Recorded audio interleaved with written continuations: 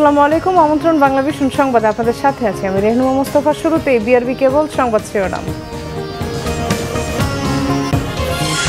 T twenty বিশ্বকাপে অংশ নিতে রাত পৌনে এগারোটায় ঢাকা ছাড়ছে ক্রিকেট দল।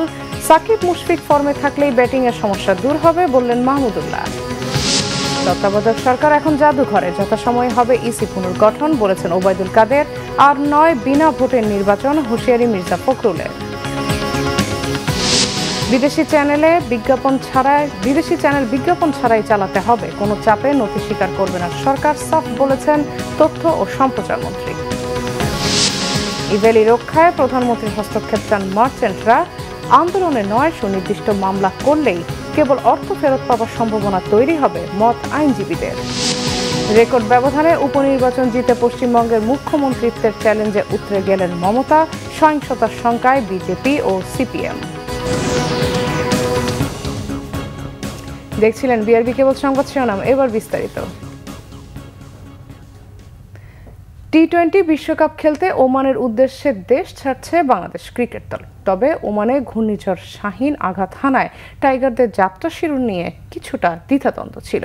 তবে মাস্কাটে ঘূর্ণিঝড়ের বড় প্রভাব না থাকায় চার্টার্ড প্লেনেই নির্ধারিত সময়ে দেশ ছাড়ছে মাহমুদুল্লাহ রিয়াদের দল। সন্ধ্যা থেকেই টাইগারদের যাত্রা নিয়ে একাধিক সিদ্ধান্ত হয়েছে। প্রথমে স্থগিত হলেও পরে মাস্কাটের পরিস্থিতি যাচাই করে কিছুটা বিলম্বিত হলেও রাতেই যাত্রার সিদ্ধান্ত হয় তবে ফ্লাইট সময়ে পেছাতে হয়নি। পনেরো সদস্যের স্কোয়াডের তেরো জন গেছেন। এই ফ্লাইটে আইপিএল খেলতে সাকিব ও মুস্তাফিজ এখন আমিরাতে আছেন। আইপিএল শেষে তারা যোগ দেবেন দলের সাথে। নিউজিল্যান্ড সিরিজের পর দলের ছুটি থাকলেও ঐচ্ছিক অনুশীলনে ব্যাট বলের চর্চায় ছিলেন ক্রিকেটাররা। টি টোয়েন্টি বিশ্বকাপের প্রস্তুতিতে ঘরের মাঠে অস্ট্রেলিয়া ও নিউজিল্যান্ডের বিপক্ষে সিরিজ জয় আত্মবিশ্বাস বাড়িয়েছে টাইগারদের। ওমান ও সংযুক্ত আরব আমিরাতে হবে এবারের আসর। মাস্কাটে সোমবার রুম কোয়ারেন্টিনের পর মঙ্গলবার থেকে চার দিন অনুশীলন করবে বাংলাদেশ দল। বিশ্বকাপ শুরুর আগে আবুধাবিতে বারো ও চোদ্দ অক্টোবর শ্রীলঙ্কা ও আয়ারল্যান্ডের বিপক্ষে দুটি প্রস্তুতি ম্যাচ খেলবে টাইগাররা। এরপর ওমানে সতেরো, উনিশ ও একুশ অক্টোবর বাছাই পর্বে খেলবে স্কটল্যান্ড, স্বাগতিক ওমান ও পাপুয়া নিউগিনির বিপক্ষে। বাছাই পর্ব শেষে সুপার টুয়েলভ দিয়ে শুরু হবে বিশ্বকাপের মূল পর্ব। সুপার টুয়েলভের খেলা হবে আমিরাতে।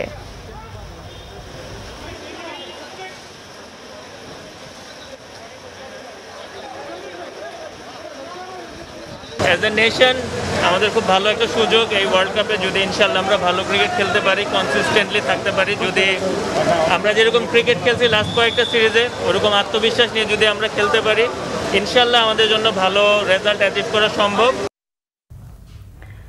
সারা দেশে নয়, শুধুমাত্র সিটি কর্পোরেশন এলাকায় বারো বছরের অধিক শিক্ষার্থীদের করোনা টিকা দেওয়ার প্রস্তুতি চলছে বলে জানিয়েছেন শিক্ষামন্ত্রী ডক্টর দীপুমণি এমপি।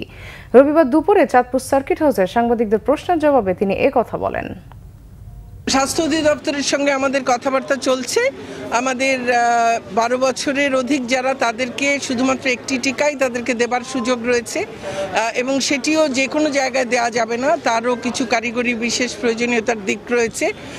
সেখানে হয়তোবা শুধু সিটি কর্পোরেশন কিছু এলাকায় হয়তো সেটা দেওয়া সম্ভব হবে কাজেই সেই টিকা কীভাবে কখন আমরা দেওয়া শুরু করতে পারব, সে ব্যাপারে স্বাস্থ্য অধিদপ্তরের সঙ্গে আমাদের কথাবার্তা চলছে। দেশে করোনায় একদিনে মৃত্যু শনাক্তের হার দুটিই কমেছে। চব্বিশ ঘন্টায় মারা গেছেন আরও আঠারো জন, নতুন করে শনাক্ত হয়েছে ছশো সতেরো জন। তবে শনাক্তের হার নেমে এসেছে তিনের নিচে। দেশের করোনার বর্তমান পরিস্থিতিকে স্বস্তিদায়ক বলছে স্বাস্থ্য অধিদপ্তর।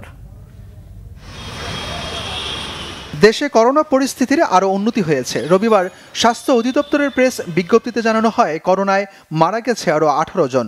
আগের দিন যা ছিল চব্বিশ জন। করোনায় মোট মৃত্যুর সংখ্যা দাঁড়িয়েছে সাতাশ হাজার পাঁচশো তিয়াত্তর জন।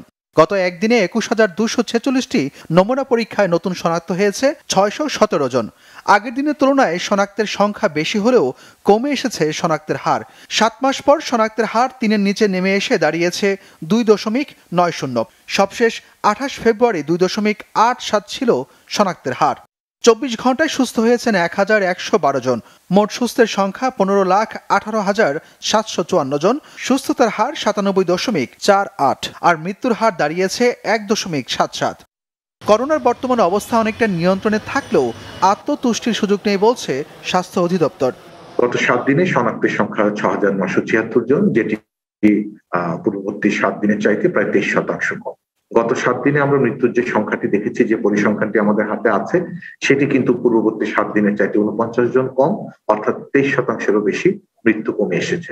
এই মুহূর্তে যে পরিস্থিতিটি আছে, এটি অত্যন্ত স্বস্তিদায়ক পরিস্থিতি, কিন্তু এতে আমাদের আত্মতুষ্টির কোনো কারণ নেই, বরং আমরা সকলে মিলে যদি একসঙ্গে কাজ করি, স্বাস্থ্যবিধিগুলো যথাযথভাবে মেনে চলি, তাহলে এই পরিস্থিতিটি অব্যাহত রাখা সম্ভব, এমনকি সংক্রমণের হার এর চাইতে কমও হওয়া সম্ভব। গত একদিনে যারা মারা গেছেন, তাদের মধ্যে ঢাকা ও চট্টগ্রাম দুই বিভাগে সর্বোচ্চ সাতজন করে মারা গেছেন। কোনো মৃত্যু নেই, বরিশাল, সিলেট, রংপুর ও ময়মনসিংহ বিভাগে। নাইম হাসান, বাংলা ভিশন, ঢাকা। কোনো বিশৃঙ্খলা না করে সবাইকে নির্বাচনের প্রস্তুতির আহ্বান জানিয়েছেন আওয়ামী লীগ সাধারণ সম্পাদক ওবায়দুল কাদের। উচ্চ আদালতই তত্ত্বাবধায়ক সরকারকে জাদুঘরে পাঠিয়েছে বলেও মন্তব্য তার। মুন্সীগঞ্জের লৌহজংয়ে পদ্মা বহুমুখী সেতু নির্মাণ প্রকল্পের ক্ষতিগ্রস্তদের মাঝে পুনর্বাসন সাইটগুলোর বরাদ্দকৃত প্লটের লিজ দলিল হস্তান্তর করেন সড়ক পরিবহন ও সেতুমন্ত্রী ওবায়দুল কাদের। বলেন, প্রধানমন্ত্রী শেখ হাসিনার দূরদর্শিতার সোনালী ফসল, পদ্মা সেতু। জানান, যথাসময়ে সার্চ কমিটির মাধ্যমেই নির্বাচন কমিশন পুনর্গঠনের উদ্যোগ নেবেন রাষ্ট্রপতি। উচ্চ আদালতই তত্ত্বাবধায়ক সরকারকে মিউজিয়ামে পাঠিয়েছে। নতুন করে নিয়ে বিতর্কের কোনো অবকাশ আমি সবাইকে ধৈর্য ধরার জন্য বলব, সুস্থ এবং অবাধ নির্বাচন শেখ হাসিনা সরকারও চায় আপনারা, আপনাদের আজকে বিশৃঙ্খলা তৈরি না করে আমি সবাইকে বলব, নির্বাচনের জন্য প্রস্তুতি নিই ওবায়দুল কাদের বলেন, বিএনপি নেতারা এখন নিরপেক্ষ সরকারের অধীনে নির্বাচন চান। কিন্তু বিএনপি চেয়ারপারসনই একসময় বলেছিলেন, পাগল ও শিশু ছাড়া কেউ নিরপেক্ষ নয়। আপনার নিরপেক্ষতা বলতে বুঝবেন যা, সেটা হচ্ছে আপনি নিরপেক্ষ তখনই থাকবেন যখন আপনি বিএনপিকে নির্বাচিত হওয়ার পুরোপুরি গ্যারেন্টি দিত, তাহলে নিরপেক্ষতা এটাই হলো বিএনপি নিরপেক্ষতা।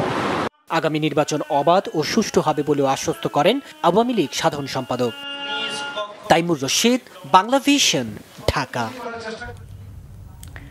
ভোটার যাবে না, দেশে এমন নির্বাচন আর করতে দেয়া হবে না বলে হুঁশিয়ারি দিয়েছেন বিএনপি মহাসচিব মির্জা ফখরুল ইসলাম আলমগীর। দলটির নেতারা বলেছেন, এ সরকারের অধীনে তারা কোনো সুষ্ঠু নির্বাচন আশাই করেন না। বিয়াল্লিশতম প্রতিষ্ঠা বার্ষিকী উপলক্ষে জাতীয় প্রেস ক্লাবে আলোচনা সভা করে জাতীয়তাবাদী ওলামা দল। এতে বিএনপির মহাসচিব বলেন আলেম ওলামা সহ কোনো ধর্মের মানুষই আওয়ামী লীগের হাতে নিরাপদ নয়। এ সরকারের হাত থেকে মুক্তি না পেলে রাষ্ট্র টিকবে না বলে মন্তব্য করেন মির্জা ফখরুল। পঁচানব্বই জন মানুষ এখানে ইসলাম ধর্মে বিশ্বাস করে। সেই ইসলাম ধর্মের উপরে একের পর এক তার আঘাত এনে চলে দাড়ি টুপি পড়া মানুষ দেখলেই তারা সন্দেহ করে বলে যে আপনার জঙ্গি। এই জঙ্গি হিসেবে যে কতজনকে তারা হয়রানি করেছে এবং আপনার আমরা বেশিরভাগ ক্ষেত্রেই দেখবেন যে এই একটা শব্দ তুলে তারা আজকে পশ্চিমা বিশ্বের সহানুভূতি তাদের সমর্থন আদায়ের জন্য এই কাজটা তারা করছে। বিএনপির মহাসচিব বলেন হত্যা গুম নির্যাতন নিপীড়ন এবং জনগণের অধিকার কেড়ে নিয়ে মানুষের বড় শত্রুতে পরিণত হয়েছে আওয়ামী লীগ। যে আপনারা নির্বাচন করতে চান কারণ নির্বাচন না করলে, না দেখালে, তো আপনারা আবার বাইরের বিশ্বের কাছে আপনারা তখন, আপনার হয়ে যাবেন স্বৈরতান্ত্রিক দেশ। এখন হয়তো দেশ গণতন্ত্রহীন দেশ। সেই জন্য একটা নির্বাচন আপনাদেরকে করতে হয়। নির্বাচন একটা করবেন যে নির্বাচনে ভোটাররা যাবে না। আপনারা ইভিএম মেশিন দিয়ে সেখানে ভোট দিয়ে দেবেন। সেই ধরনের নির্বাচন এই দেশের মানুষ আর করতে দেবে না। আমরা খুব স্পষ্ট করে বলতে চাই, এই দেশের মানুষ কখনোই এই নির্বাচন নির্বাচন খেলা করে আপনার আর নির্বাচন হতে দেবে না। তারা সত্যিকারের নির্বাচন চায়। আমরা অবশ্যই নির্বাচন চাই। নির্বাচন করেই আমরা মানুষের, জনগণের ভালোবাসা নিয়ে আমরা রাষ্ট্র পরিচালনার দায়িত্বে যেতে চাই এবং সেখানে কাজ করতে চাই।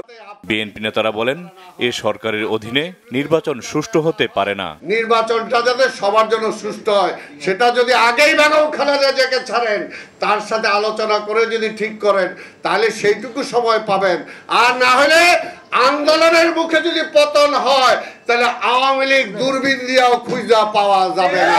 হয় বাংলাদেশের জনগণ ভোট দেবে নির্দলীয় সরকার প্রতিষ্ঠা হবে। যতক্ষণ না হবে এই বাংলাদেশ ঢাকা থেকে বিচ্ছিন্ন থাকবে ইনশাল্লাহ যে নিষ্পেষ নির্যাতন মুদ্রা পাচার দুর্নীতি এগুলি মোটামুটি ঘরে ঘরে জানা হয়ে গেছে। এ থেকে বোধহয় জাতি মুক্তি চায় মানুষ মুক্তি চায়। আন্দোলনের জন্য সংগঠিত হতে সারা দেশের নেতাকর্মীদের প্রতি আহ্বান জানান বিএনপি নেতারা। পরকাল ভালো হইতে পারে নাকি? জাহাঙ্গীর আকন্দ বাংলা ভিশন ঢাকা। তথ্য সম্প্রচার মন্ত্রী ডক্টর হাসান মাহমুদ জানিয়েছেন, বিজ্ঞাপন মুক্ত বিদেশি চ্যানেল বা ক্লিন ফিট সম্প্রচারের ব্যাপারে কোনো চাপের মুখে নথি স্বীকার করবে না সরকার। এ নিয়ে আন্দোলনের কথা বলা অযৌক্তিক বলে মন্তব্য করেন তিনি।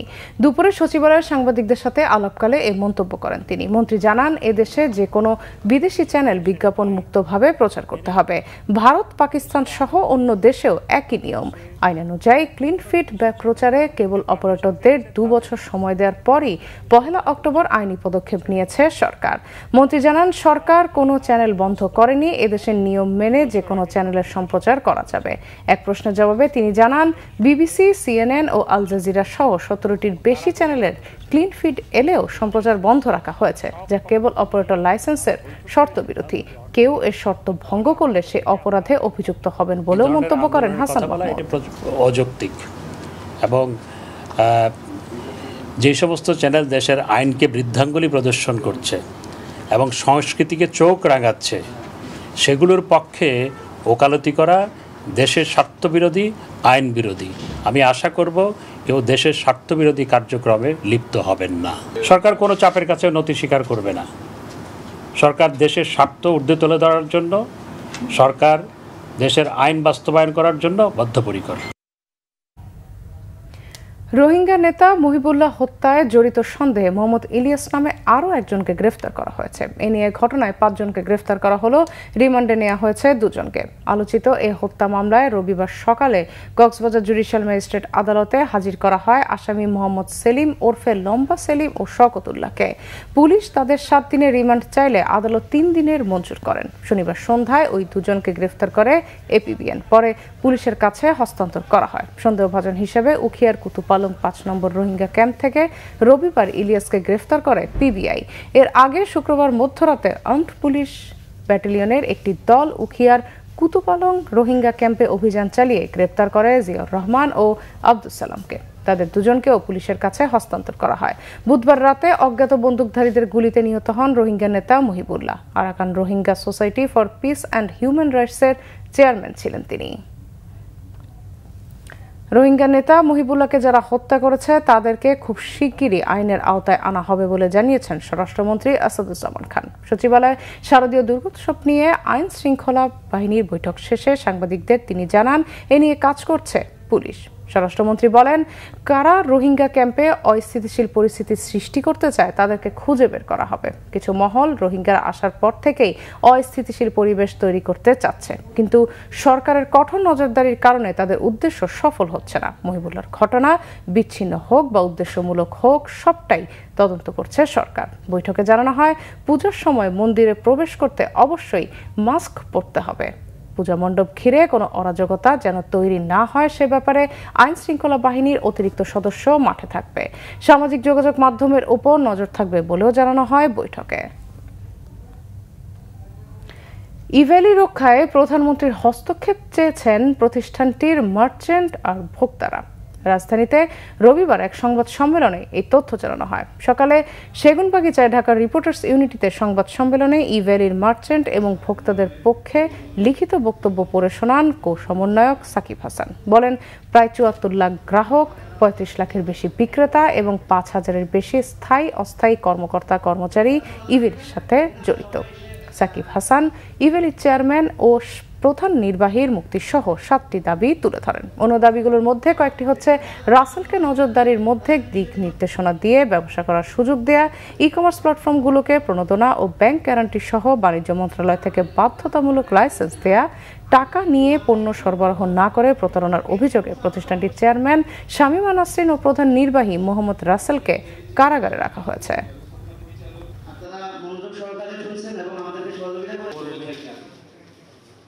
ব্যবসায়ের পরিধি বড় হলে কিছু অভিযোগের বা সমন্বয়নতা থাকতে পারে। আমরা মনে করি, বাণিজ্য মন্ত্রণালয়ের নেতৃত্বে স্বরাষ্ট্র মন্ত্রণালয়, অর্থ মন্ত্রণালয়, আইসিটি মন্ত্রণালয়, Bangladesh bank e CAB merchant ভোক্তাসহ সকলের প্রতিনিধি ও ইভ্যালির কর্মকর্তাদের সমন্বয়ে একটি কমিটি করে এই সমন্বয়হীনতা বা সংকট থেকে উত্তরণ সম্ভব। এই সংকট মোকাবেলা করতে ব্যর্থ হলে আমরা প্রায় পঁচাত্তর লক্ষ পরিবার ঋণগ্রস্ত হয়ে পথে বসার উপক্রম হব। কয়েকটি কোম্পানির প্রতারণায় অনলাইন কেনাকাটা এখন বড় ধরনের ধসের মুখে। এমন তথ্য দিচ্ছে e commerce association of Bangladesh e CAB সংগঠনটির নেতারা বলছেন, সম্ভাবনাময় খাতটির স্বার্থে ভাবমূর্তি ফেরানোর কাজ করাই এখন সবচেয়ে জরুরি। আর আইনজীবীরা বলছেন, শুধু আন্দোলনের প্রতারিত গ্রাহকরা টাকা ফেরত পাবেন না। কোম্পানির বিরুদ্ধে সুনির্দিষ্টভাবে মামলা করলেই কেবল ফেরত পাবার সম্ভাবনা তৈরি হবে। ই কমার্স খাতের জোয়ারে গা ভাসানোর প্রতারিত গ্রাহকদের হাজার কোটি টাকা আটকে গেছে ইভ্যালি ইওরেন্স ধামাকা সহ কয়েকটি প্রতিষ্ঠানের কাছে। তাই অর্থ ফেরত পেতে এখন প্রায় নিয়মিত কর্মসূচি পালন করছেন ভুক্তভোগীরা। কিন্তু তাতে টাকা ফেরত পাবেন কিনা, তার নিষ্ঠতা দিতে পারছেন না কেউই। কি পরিমাণ টাকা ফেরত দেওয়া যাবে বা কি পরিমাণ টাকা ফেরত দেওয়া যাবে না, সেটা নিয়েও আসলে আলাপ আলোচনা হচ্ছে। এটা পলিসি না হওয়া পর্যন্ত স্ট্র্যাটেজি না হওয়া পর্যন্ত বলাটা মুশকিল। যে কাস্টমাররা আসলে কতটুকু পরিমাণ ফেরত পাবেন বা আদতে পাবেন কিনা, এটা বলার মতন অবস্থাতে এখনও আসেনি আমরা। ই কমার্সের সাথে ইনভলভ আমরা দেখছি যে অনেকেই প্রতারিত হয়েছে এবং তারা আন্দোলন করছে। কিন্তু এই আন্দোলন করলে সরকার তো তাদেরকে টাকা রিটার্ন করবে না। এটা যে কোম্পানির এগেনস্টে তার এলিগেশন সেই কোম্পানির এগেনস্টে স্পেসিফিকলি মামলা করতে হবে এবং মামলা করলে সেই কোম্পানি এই টাকাটা যদি তাদের অ্যাসেট থাকে, তাহলে সেই অ্যাসেট বিক্রি করে এই এই যে কাস্টমার যারা আন্দোলন করছে বা যারা প্রতারিত হয়েছে, তারা পাবে। অনলাইন কেনাকাটায় লেনদেনে নেমেছে ধস, তারপরও ধাক্কা কাটিয়ে সামনে খাটটি ভালোভাবে ঘুরে দাঁড়াবে বলে আশা প্রকাশ করছেন ইক্যাবের সাধারণ সম্পাদক। যেহেতু ই কমার্স খাতের উপর একটা নেতিবাচক প্রভাব পড়েছে সকলেই একটা অনাস্থার জায়গা তৈরি হচ্ছে অনেকের মধ্যেই। সো কীভাবে এই অনাস্থার জায়গাটাকে মানুষকে আস্থা ফিরিয়ে আনা যায়, সেটার জন্য সরকার এবং আমাদের সকলকে একত্রে কাজ করতে হবে। একটা অসুস্থ প্রতিযোগিতা শুরু হয়ে গেছিল, সেই জিনিসটাও আস্তে আস্তে বন্ধ হচ্ছে। মার্কেটে লেভেল প্লেইং ফিল্ডগুলো তৈরি হচ্ছে। দেশে অনলাইন কেনাকাটার যাত্রা শুরু হয় উনিশশো নিরানব্বই সালের দিকে। দীর্ঘ সময় ই কমার্স খাতের দুর্বলতা না কাটানোকে হতাশাজনক বলছেন বিশ্লেষকরা। দুঃখের বিষয়টা হলো নাইনটি নাইন থেকে আমাদের এই অনলাইন বিজনেস এই টু থাউজেন্ড টোয়েন্টি ওয়ানে এসে প্রায় একুশ থেকে বাইশ বছর পরে এসে, এই ধরনের নীতিমালা করতে হলো। এটা বহু আগেই যদি করা হতো, তাহলে আজকে এই সাফারিংসটা হতো না। অতীতের অপ্রীতিকর ঘটনা ই কমার্স খাতকে সামনে এগোনোর পথ দেখাচ্ছে বলছেন সংশ্লিষ্টরা। জি এম হাসান, বাংলা ভীষণ ঢাকা। রাজধানীর বনানীর রেইনট্রি হোটেলে দুই ছাত্রী ধর্ষণ মামলায় আপন জুয়েলার্সের মালিকের ছেলে সাফাত আহমেদ সহ পাঁচজনের জামিন নাকচ করে কারাগারে পাঠানোর নির্দেশ দিয়েছেন আদালত। আলোচিত এই মামলার রায় ঘোষণার জন্য আগামী বারো অক্টোবর দিন ধার্য করেছেন আদালত। ঢাকার নারী ও শিশু নির্যাতন দমন ট্রাইব্যুনাল সাতের বিচারক বেগম কামরুন নাহারের আদালত উভয় পক্ষের যুক্তি উপস্থাপন শুনানি শেষে আসামিদের জামিন নাকচ এবং রায় ঘোষণার জন্য তারিখ নির্ধারণ করেন। বাদীপক্ষের আইনজীবী ফারুক আহমেদ এ তথ্য নিশ্চিত করেছেন। রাষ্ট্রপক্ষ থেকে আসামির সর্বোচ্চ সাজা যাবজ্জীবন চাওয়া হয়েছে। রেন্টি হোটেলে দুই ছাত্রী ধর্ষণ মামলায় দুই হাজার সতেরো সালের তেরো জুলাই মামলার প্রধান আসামি সাফাত আহমেদ সহ পাঁচ আসামির বিরুদ্ধে অভিযোগ গঠন করা হয়।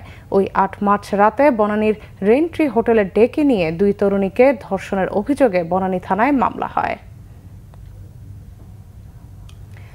ঝিনাইদহ চিফ জুডিশিয়াল ম্যাজিস্ট্রেট আদালতের মালখানায় বিস্ফোরণে একজন নিহত ও তিনজন আহত হয়েছেন। রবিবার দুপুর দেড়টার দিকে এ ঘটনা ঘটে। আহতদের ঝিনাইদহ সদর হাসপাতালে চিকিৎসা দেওয়া হচ্ছে। পুলিশ জানায়, চিফ জুডিশিয়াল ম্যাজিস্ট্রেট আদালতের মালখানায় গণপূর্ত বিভাগের ওয়েল্ডিং মিস্ত্রিরা কাজ করছিলেন।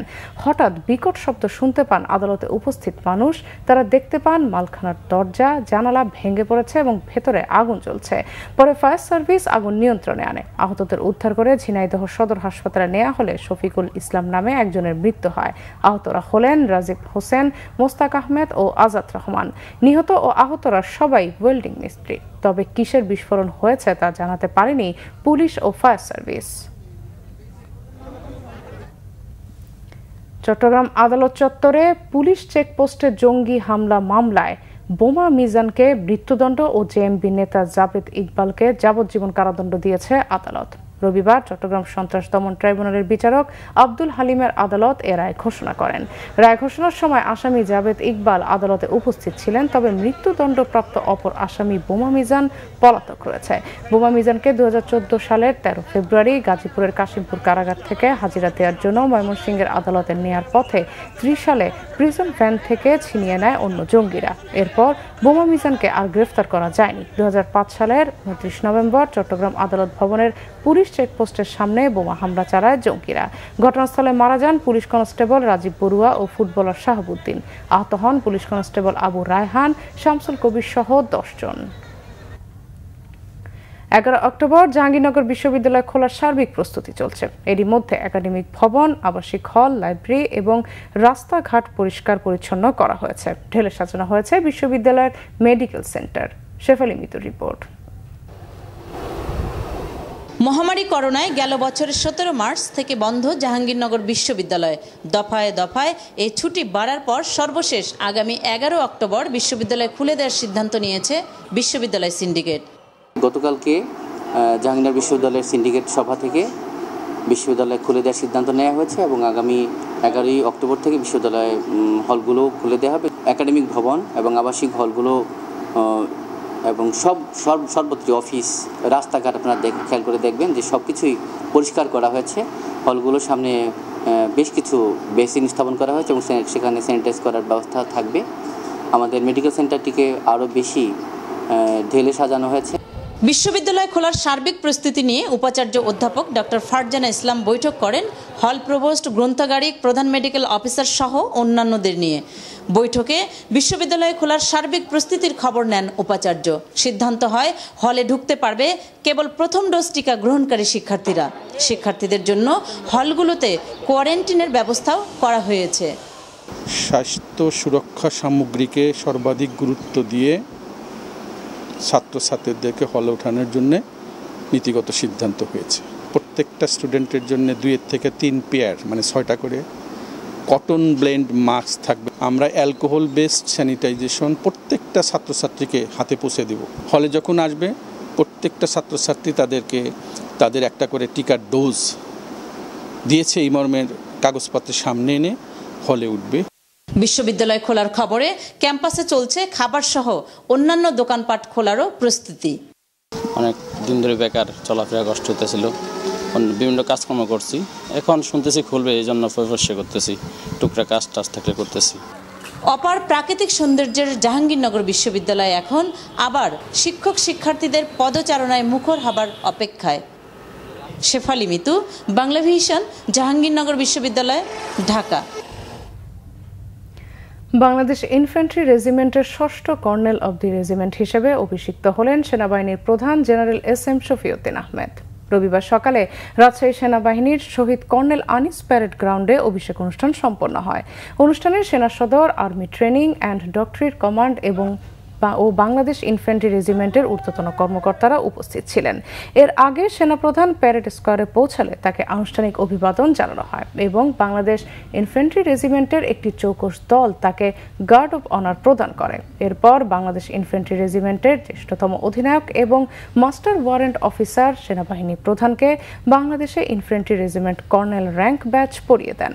আধুনিক ও যুগ উপযোগী প্রশিক্ষণের মাধ্যমে একবিংশ শতাব্দীর চ্যালেঞ্জ মোকাবেলায় সদা প্রস্তুত থাকতে রেজিমেন্টের সকল সদস্যদের প্রতি আহ্বান জানান সেনাপ্রধান। জাতীয় পার্টির চেয়ারম্যান গোলাম মোহাম্মদ কাদের বলেছেন, দেশের রাজনীতিতে জিয়াউদ্দিন আহমেদ বাবলুর অবদান চিরস্মরণীয় হয়ে থাকবে। জাতীয় পার্টির প্রয়াত মহাসচিব জিয়াউদ্দিন আহমেদ বাবলুর স্মরণ সভা অনুষ্ঠিত হয় রাজধানীর কাকরাইলস্থ দলীয় কার্যালয়ের সামনে।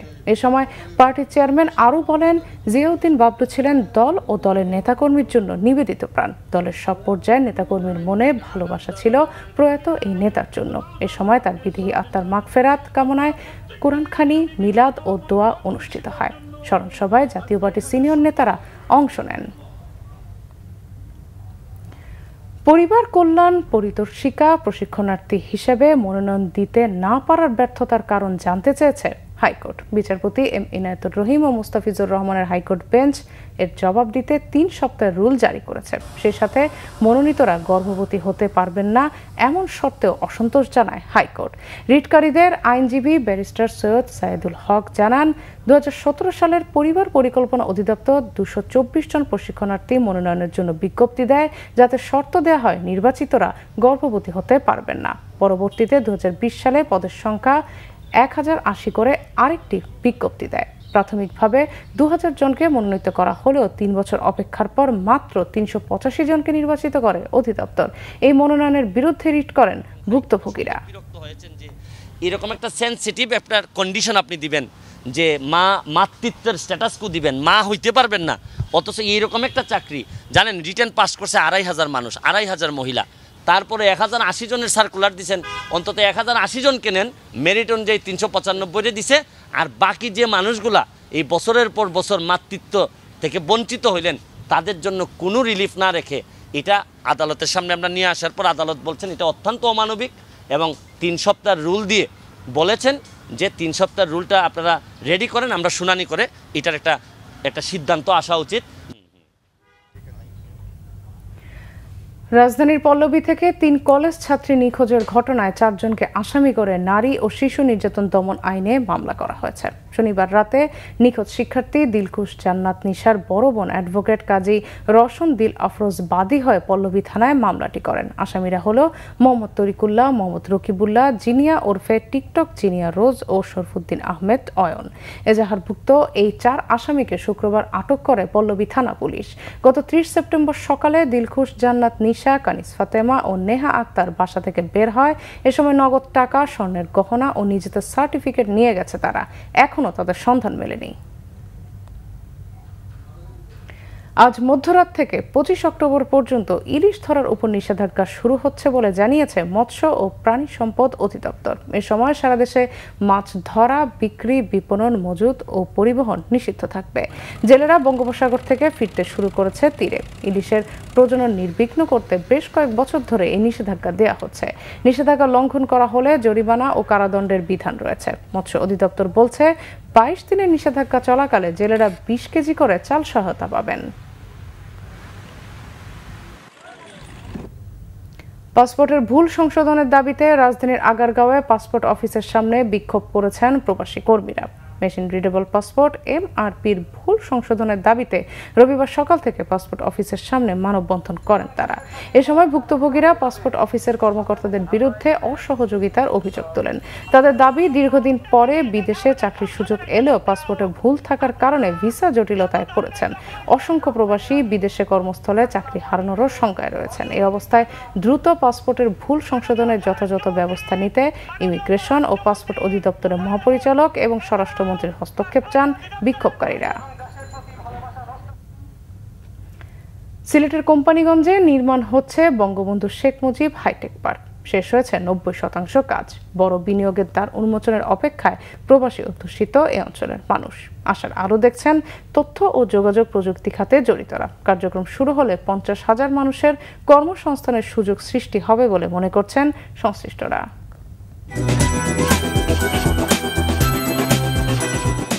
চলতি বছরের ডিসেম্বরের মধ্যে শেষ হচ্ছে বঙ্গবন্ধু হাইটেক পার্কের কাজ। পার্কটিতে বিনিয়োগ করতে জায়গা বরাদ্দ নিতে শুরু করেছে বিনিয়োগকারীরা। তথ্য ও প্রযুক্তি খাত বিকাশের মাধ্যমে প্রায় পঞ্চাশ হাজার মানুষের কর্মসংস্থানের আশা সংশ্লিষ্টদের। এতে নিয়োগ পাওয়ার ক্ষেত্রে অগ্রাধিকার চান স্থানীয়রা। অত্যাধুনিক একটা ফাইভ স্টার রেস্টুরেন্ট হবে সেটা আমাদের কোম্পানিগঞ্জের এক ভদ্রলোক এটা নিয়েছে। হাইটেক পার্কে অনেকেই বিনিয়োগ করতে আসলে ইচ্ছুক। আমাদের এখানকার তরুণ প্রজন্ম একসময় কিন্তু লেখাপড়া শেষ করে ইংল্যান্ড আমেরিকায় পাড়ি জমাতেন বা অনেকেই পাথর কোয়ারিতে ব্যবসায় মনোযোগ দিতেন। কিন্তু এখন কিন্তু তাদের মধ্যে একটা আগ্রহ তৈরি হয়েছে যে পড়াশোনা শেষ করে এখানে হাইটেক পার্কে জব করা যাবে। হাইটেক পার্কে মানে আমাদের এলাকার উন্নতি হবে। কোম্পানিগঞ্জে একশো তেষট্টি একর জায়গার ওপর চলছে এ কর্মযজ্ঞ। ইতোমধ্যে শেষ হয়েছে নব্বই শতাংশ কাজ। টোটাল প্যাকেজ হচ্ছে তিনশো ছত্রিশ কোটি টাকার। এর মধ্যে মোটামুটি নব্বই ভাগ কাজ আমাদের শেষ হয়ে গেছে। আশা করতেছি বাকি কাজগুলো ডিসেম্বরের মধ্যে শেষ হয়ে যাবে। বিনিয়োগকারীদের সব ধরনের ইউটিলিটি সুবিধা নিশ্চিত করা হচ্ছে বঙ্গবন্ধু হাইটেক পার্কে। বিভিন্ন কোম্পানির চাহিদার ভিত্তিতে টোটাল পঞ্চাশ হাজার একর জমির কি বলে আওতাধীন নেওয়ার একটা পরিকল্পনা চলতেছে। ইতিমধ্যে এই একশো তেষট্টি একরের সাথে আরও পঁচাশি একর জায়গা প্রায় আমরা পেয়ে গেছি। পাথর উত্তোলন বন্ধের ফলে যারা কাজ হারাবেন তারা এই হাইটেক পার্কে কাজ করার সুযোগ পাবেন বলে জানিয়েছেন উপজেলা নির্বাহী কর্মকর্তা। এখানে অনেক দেশি এবং বিদেশি বিনিয়োগকারীরা এখানে বিনিয়োগ করছে। বাংলাদেশে তার যে সম্ভাবনার একটা তার তাদের অর্থনৈতিকভাবে তার যে এগিয়ে যাওয়ার একটা সুযোগ এখানে সৃষ্টি হবে এবং এখানকার গণমানুষ যারা আছে, তাদেরও যে ভাগ্যের একটা বিরাট পরিবর্তন আসবে এর মাধ্যমে। শুধু অগ্রাধিকার দেওয়াই নয়, এই হাইটেক পার্কে যাতে প্রকৃত প্রবাসীরা বিনিয়োগ করতে পারেন, সে পরিবেশ নিশ্চিতের দাবি স্থানীয়দের। বাংলা ভীষণ নিউজ ডেস্ক। এবার কয়েকটি অনুষ্ঠানের খবর নিয়ে একটি রিপোর্ট। গ্র্যাজুয়েটদের পেশা নির্বাচন ও কর্মসংস্থান সৃষ্টির লক্ষ্যে গ্রিন ইউনিভার্সিটি অব বাংলাদেশে ভার্চুয়াল জব ফেয়ার অনুষ্ঠিত হয়েছে। বিশ্ববিদ্যালয়ে সেন্টার ফর ক্যারিয়ার ডেভেলপমেন্ট আয়োজিত দিনব্যাপী এ ফেয়ারে দেশের মোট ত্রিশটি প্রতিষ্ঠান অংশ নেয়। উপাচার্য অধ্যাপক ডক্টর এম গোলাম সামদানি ফকিরের সভাপতিত্বে অনুষ্ঠানে ইউনিলিভার কনজুমার কেয়ার লিমিটেডের চেয়ারম্যান মাসুদ খান প্রধান অতিথি এবং Bangladesh organisation for learning and ডেভেলপমেন্টের প্রেসিডেন্ট কাজী এম আহমেদ বিশেষ অতিথি হিসেবে বক্তব্য রাখেন। প্রধানমন্ত্রী শেখ হাসিনার গতিশীল নেতৃত্বে এবং তার তথ্য ও যোগাযোগ প্রযুক্তি উপদেষ্টা সজীব ওয়াজেদ জয়ের সার্বিক নির্দেশনায় দু একচল্লিশের মধ্যে উন্নত বাংলাদেশ গড়ার লক্ষ্যে সম্প্রতি হালিম গ্রুপকে হাইটেক পার্ক ঘোষণা করেছে বাংলাদেশ হাইটেক পার্ক কর্তৃপক্ষ। অনুষ্ঠানে প্রধান অতিথি ছিলেন পরিকল্পনা মন্ত্রী এম এ মান্নান। বিশেষ অতিথি ছিলেন তথ্য ও যোগাযোগ প্রযুক্তি প্রতিমন্ত্রী জুনায়েদ আহমেদ পলক, মন্ত্রণালয়ের সচিব N M Ziaul Alam, hi tech পার্কের ব্যবস্থাপনা পরিচালক বিকর্ণ কুমার ঘোষ ও হালিম গ্রুপের চেয়ারম্যান আবুল কালাম হাসান টগর বক্তব্য রাখেন। বিএনপি চেয়ারপারসন বেগম খালেদা জিয়া ও গণতন্ত্রের মুক্তির আন্দোলনের জন্য দল শক্তিশালী করতে নেতাকর্মীদের প্রতি আহ্বান জানিয়েছেন বিএনপির সাংগঠনিক সম্পাদক সৈয়দ ইমরান সালে প্রিন্স। ময়মনসিংহ বিভাগ, জেলা ও মহানগর বিএনপির সাংগঠনিক পুনর্গঠন বিষয়ে এক মতবিনিময় সভায় এই আহ্বান জানান তিনি। সংবাদ শেষ করব, বিআরবি কেবল শিরোনামগুলো আরেকবার জানিয়ে। টি টোয়েন্টি বিশ্বকাপে অংশ নিতে রাত পৌনে বারোটায় ঢাকা ছাড়ছে ক্রিকেট দল। সাকিব মুশফিক ফর্মে থাকলেই ব্যাটিংয়ের সমস্যা দূর হবে বললেন মাহমুদুল্লাহ। তত্ত্বাবধায়ক সরকার এখন জাদুঘরে যথাসময় হবে ইসি পুনর্গঠন বলেছেন ওবায়দুল কাদের। আর নয়, বিনা ভোটের নির্বাচন, হুঁশিয়ারি মির্জা ফখরুলের। বিদেশি চ্যানেল বিজ্ঞাপন ছাড়াই চালাতে হবে, কোনো চাপে নথি স্বীকার করবে না সরকার, সাফ বলেছেন তথ্য ও সম্প্রচার মন্ত্রী। ইসরায়েলি রক্ষায় প্রধানমন্ত্রীর হস্তক্ষেপ চান মার্চেন্টরা। আন্দোলনে নয়, সুনির্দিষ্ট মামলা করলেই কেবল অর্থ ফেরত পাবার সম্ভাবনা তৈরি হবে মত আইনজীবীদের। রেকর্ড ব্যবধানে উপনির্বাচন জিতে পশ্চিমবঙ্গের মুখ্যমন্ত্রিত্বের চ্যালেঞ্জে উঠে গেলেন মমতা, সহিংসতার সংখ্যায় বিজেপি ও সিপিএম। এই ছিল এখনকার মতো পরের সংবাদ, রাত একটায় দেখার আমন্ত্রণ রইল। এছাড়া বাংলাদেশের সংবাদ ও সংবাদ সংশ্লিষ্ট অনুষ্ঠান দেখতে ভিজিট করুন W W W dot BV news twenty four dot com ও Facebook dot com slash Bangla Vision নিউজে এবং সাবস্ক্রাইব করুন YouTube dot com slash Bangla Vision news ধন্যবাদ সবাইকে।